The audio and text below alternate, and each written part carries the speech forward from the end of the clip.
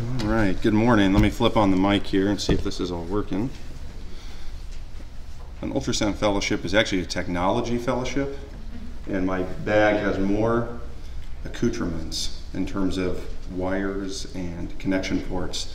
Uh, so that's actually what an ultrasound fellowship is for anybody who wants to know. It's just how to hook up your Mac to uh, to an audiovisual system.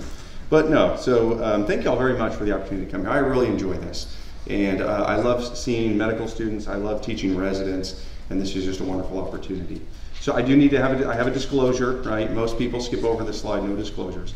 I do own an ultrasound consulting company, albeit very small, uh, but this lecture is not going to be used for any sort of profit. And in fact, uh, it's going to be used by the Medical Student Committee for Education. But let's, we'll just put that out there. And uh, again, thank you to each of you for the opportunity to be here. And who helped put this together? I see hands of the whole committee. Thank you very much. There is so much behind the scenes work that goes into these things, and it's just uh, wonderful to see. So, a little bit about my background. So, I did go to medical school at UT San Antonio.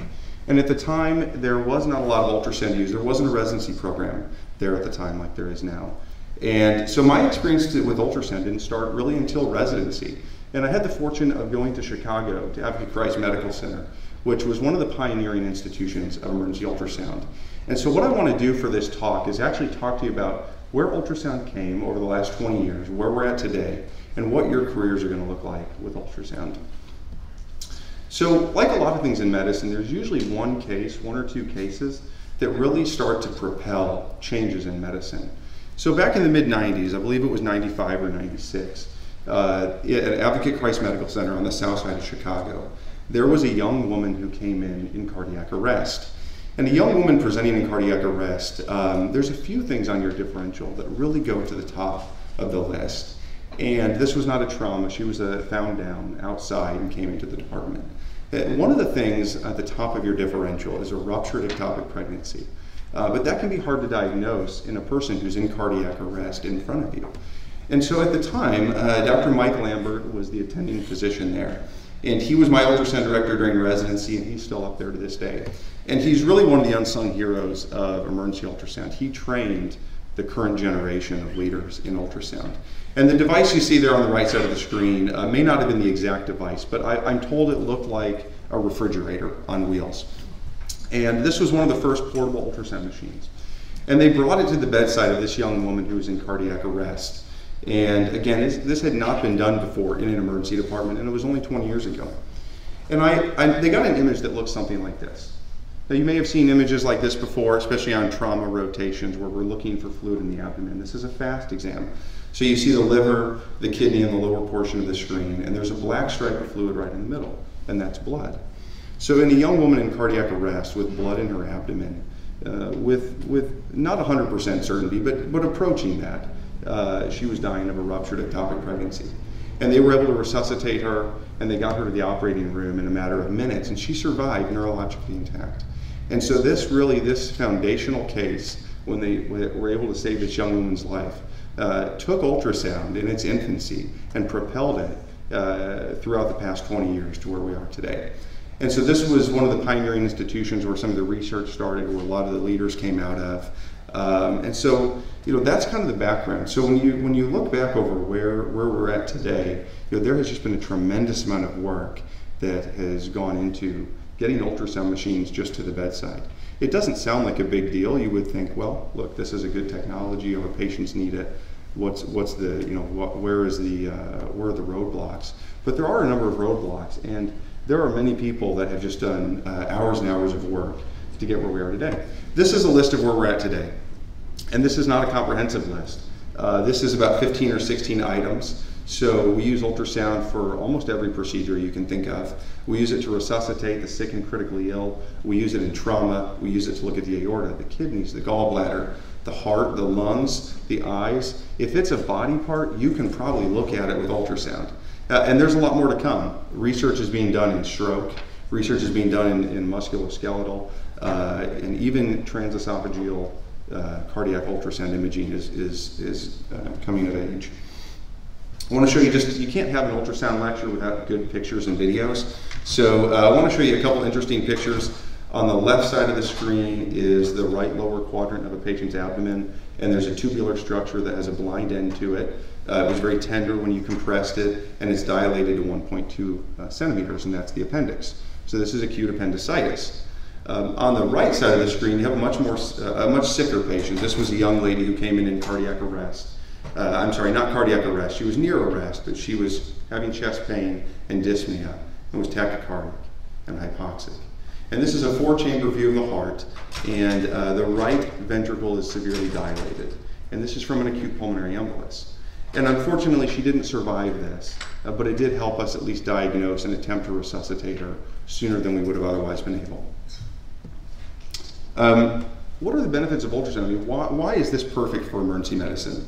It is rapid, so it does not take that long to do. It takes a matter of minutes. It's repeatable, so if something changes, you can reassess the patient. And most importantly, it's portable. A lot of our patients are just often too sick to go to leave the department, to go to CT. And so you bring this to the patient.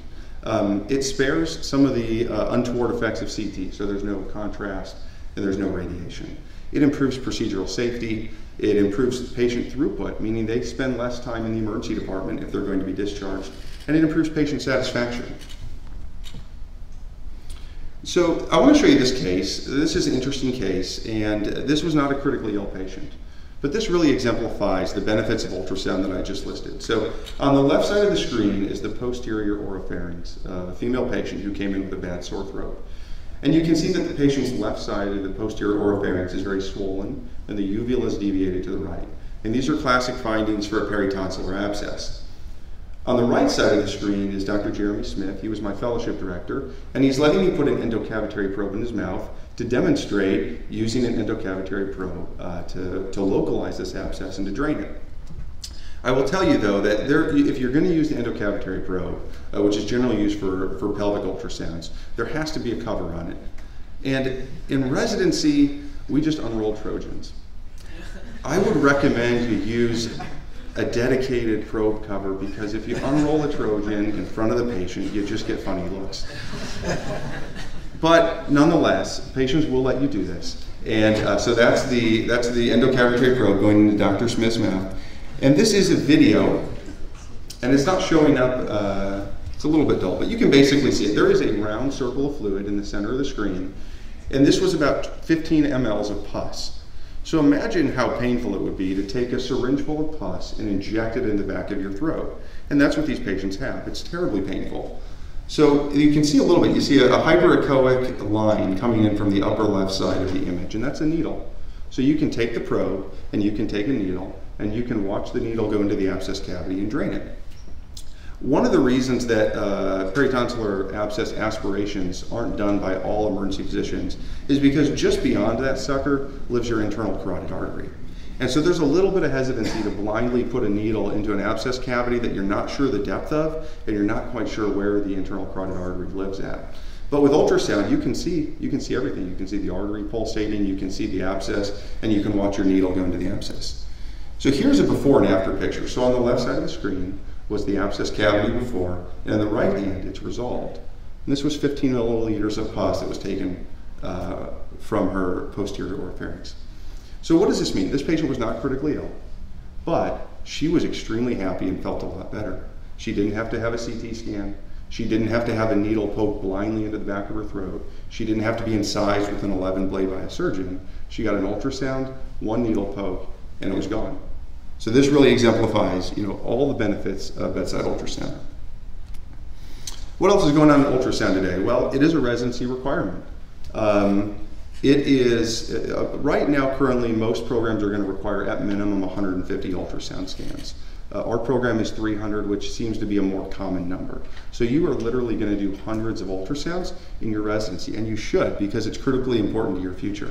Uh, if you choose to do it, if you want to do a fellowship, there is uh, there are a lot to choose from. There's over 100 currently, and there's a map there on the right side of the screen about where they're distributed. Uh, it's a one-year fellowship. It's a great way to just enhance your care. I enjoyed doing it because it didn't take me away from the bedside. It really just enhanced, uh, I think, my skill set as an emergency physician. The industry is finally coming around to supporting this. For years and years, it took uh, um, a lot of pleading to the manufacturers of the machines to give some attention to this market, and they're finally doing it. The machines are really catching up to speed. There's software solutions to help integrate this into the patient care record, uh, and that really brings me to my next point. These studies, um, I'm of the opinion that by the time y'all are done training or early in your career, pretty much everywhere, these are going to be integrated into the, the medical record. Uh, we've gotten them at JPS onto PACS, so they sit right next to all the other imaging studies of the patient. Uh, a lot of other healthcare systems are, are doing the same thing. And so I anticipate this is just going to be a, a nationwide uh, continuum. And so probably by the end of your training or earlier in your career, you know, these studies are going to be a part of the patient healthcare record. Back in the day, they were just printed off on a piece of paper, paper clipped to the patient chart, and probably nobody ever saw them again. But these have a lot of value, and so there's good reason to keep these into the patient chart, and I think we're going to see that continue to increase. Um, there's an accreditation program now through ACEP called the Clinical Ultrasound Accreditation Program. So as an emergency department, you can be accredited by ACEP in point of care ultrasound. And there is robust research. It, it amazes me every day how much research goes into this. This is a, just a, a smattering of examples of, of modern machines, um, all the way from cart-based to some handheld options. Um, and these are continue, going to continue to get more portable and improve image quality. And, uh, and, and, the technology is phenomenal. So it, it really is going to continue to, to get even better. What do you all have to look forward to for your next 30 years of your career? Because um, it's going to go by quick. Uh, I guarantee you this is going to continue to expand. Guarantee you. The medical schools are getting on board. How many of y'all have had ultrasound education in medical school? That's like the whole room. Has it, and outside of an emergency medicine rotation, who's had ultrasound education? All right. So this isn't the next 30 years. This should have said present. Um, this is going to continue to increase. The more we get medical students educated to this, the more skills you're going to bring to residency, and the better you're going to be, and the more quickly you're going to acquire these skills. Uh, the machines are going to get better and better. They're going to get more portable, and they're going to develop higher resolution. Again, they're going to become integrated into the patient's healthcare record, and uh, I'm of the opinion that this is going to be an expectation of your uh, future employers and groups. There's so much value in this, both to your patients, quality of care, and to cost savings, that there is no way this, this can't be on their radar screen. And interestingly, I suspect your patients are going to begin to expect this. I'm going to show you an interesting slide here, uh, what I mean by that. This is a diagram. Uh, did everybody get a copy of this so we can really dive into this? I'm just kidding. Um, this is just a diagram of, of what we do behind the scenes trying to integrate. How do you get an ultrasound image at the bedside into the patient's medical record? Again, it sounds like it should be easy, but there's a lot of complexities to it. But the hospitals are beginning to have these conversations and accomplish these goals of getting it wirelessly into the patient's record. So you'll be seeing that more and more. There was a journal article, this was not a clinical journal, this was a healthcare finance and management journal a couple of years ago that discussed the value of bedside ultrasound. So this is on the radar screen of, of hospital administrators and physician administrators. And again, this is why I say it's going to be an expectation. You want to go to a residency program where you're going to get very well trained in this. And why do I say patients are going to expect it? Did anybody see these commercials uh, from one of the, the leaders in, um, in machine SonoSite? Did anybody see these commercials like 2014? These are screenshots from commercials that were on TV. Uh, I think one, I think the top one was even during the Super Bowl, um, where the company was marketing point of care ultrasound to the consumers, directly to the patients. And as this becomes more and more mainstream, I anticipate your patients in the emergency department are going to look at you as they did in the uh, bottom right one and say, Doctor, are you going to use ultrasound for that central line? Doctor, do I need a CT scan of my neck? Um, so I anticipate this is going to be something your patients are going to ask about. So in summary, bedside ultrasound is here to stay. It is not going anywhere and it's going to continue to get better and better day by day. It improves patient care and quality. It improves your throughput of your patients in the department and it improves your patient's experience in the emergency department. Uh, it is critically important to your, your residency training. Um, so just be aware of that as, as you look around.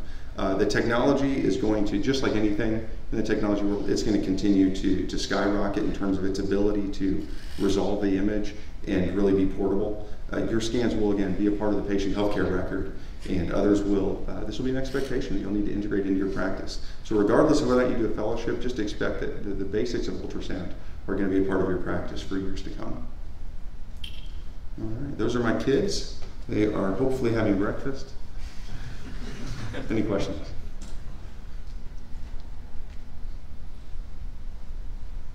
No questions? right. Yeah? As a medical student going into residency, how do you recommend just increasing your clinical skill? And you know, how, did, how did you sort of develop that through your residency and then also in your fellowship? Sort of? Yeah, so there's, there's really two components to ultrasound. There's acquiring the image, Mhm. uh, which is more of a technical skill, Mhm. and there's interpreting the image. Mhm. And you can you can't separate those two. Uh, we could teach the room with a lecture how to interpret the images, and you'd be really good. But until you put the probe on the patient, you have uh, you know the feel of a rib, uh, you know how you're going to navigate bowel gas when you're looking at the aorta. There's all there's that whole technical component, and that's where really it just becomes volume, where you have to just um, you, you just have to understand its importance, so that you take the time to really acquire the skill. Uh, because your patient's going to be sick, it's very easy, as you'll figure out in residency, to just order a CT scan. It takes more time to bring the machine to the bedside. Um, but as you recognize its value to your education, then hopefully you take that time to put the probe on the patient, because really that's where the learning is. Good question. All right. Well, thank you. I hope you enjoy your day.